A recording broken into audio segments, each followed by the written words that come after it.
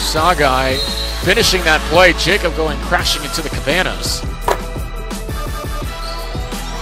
See fun here. Osagai with the block on the perimeter.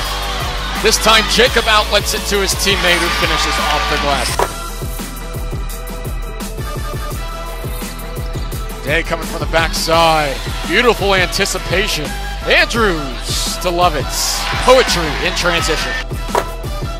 Let's play. Yeah, that's not the case anymore for number five. Andrew squares up.